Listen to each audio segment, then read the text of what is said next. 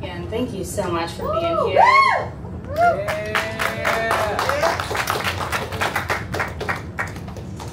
We love Cleveland. Thank you.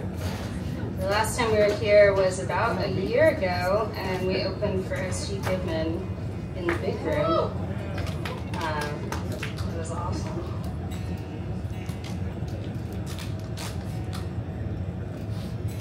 This next song, it's on the new album.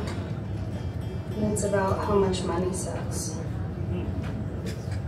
Actually, a couple of songs on the album are about that. so.